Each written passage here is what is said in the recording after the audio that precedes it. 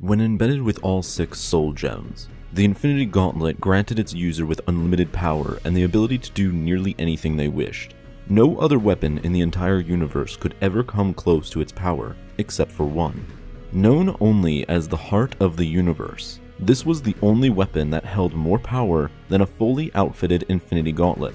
While the Infinity Gauntlet gave its user the powers of a god, the Heart of the Universe straight up made its user a god and the ultimate being of their respective universe, with them being only below the one above all.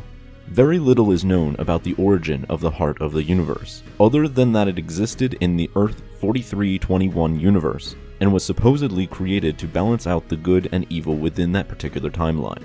The weapon itself appeared as a blinding ball of light, almost like a mini star that was the size of a small building. Thanos was the only known user to use the Heart of the Universe at its fullest extent. When he consumed it, the power he gained was unlike anything he could have ever imagined.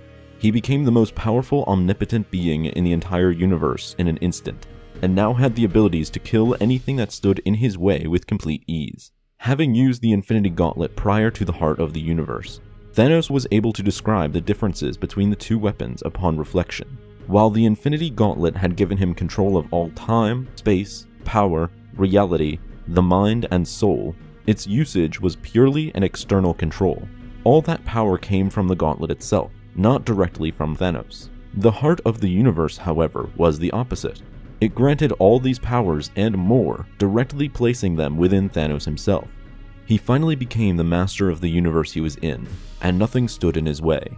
All the other cosmic entities that would have proven to be a challenge, even with someone with the Infinity Gauntlet, were pushed aside like flies by Thanos following his consumption of the heart of the universe. However, so much power was too much for even a strong-willed man like Thanos, as he would go on to accidentally destroy the entire universe by making it as if it never existed.